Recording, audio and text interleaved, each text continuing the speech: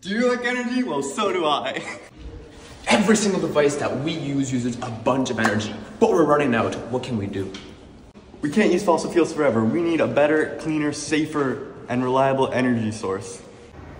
We have different types of renewables, such as wind, hydro, and solar. But we even have nuclear, which isn't technically renewable, but it's really good. Introducing nuclear fusion. Nuclear fusion can solve all our problems. So what is nuclear fusion? Well, unlike nuclear fission, where we take a heavy isotope of radioactive material, such as uranium, and we split it out, we take nuclear fusion, which is the opposite, where we take a very light isotope, such as hydrogen, in our case deuterium and tritium, and merge them together to create helium-4 and energy.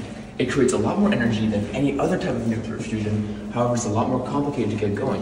It's the same type of nuclear fusion that we have going on in the sun. And if you can imagine, if we could create a sun on Earth, we'd have a heck of a lot of energy.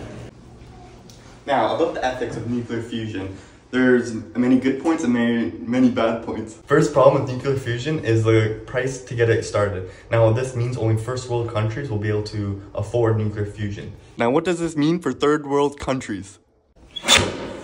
This can also be another problem because the amount of money that we need to invest into nuclear fusion, we're talking orders of hundreds of billions of dollars that could be spent elsewhere on other types of energy, but also on social infrastructure.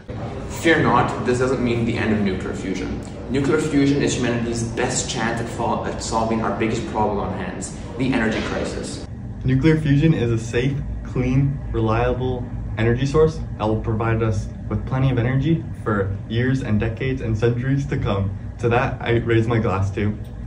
You may be wondering, why is it taking so long? Why can't we not get nuclear fusion tomorrow? We are such an advanced society, we're such an advanced civilization. We should be able to. But let's talk more about that. Now you may be wondering, when will we see nuclear fusion in our lives?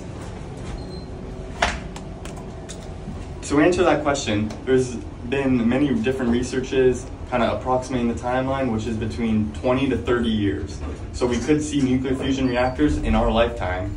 We just need to do more research and more studies so we can actually contain the heat inside the reactor and achieve nuclear fusion. We need to continue our investment in nuclear fusion as it's very important. Now, the, although there are many cons with investing in nuclear fusion, such as putting energy and resources into other sources of production, such as wind, solar, or hydro, the pros highly outweigh the con. The thought of having infinite amount of, not necessarily infinite, but very vast amounts of energy for a very, very low cost and extremely safe is what we need to be looking forward to. Thank you.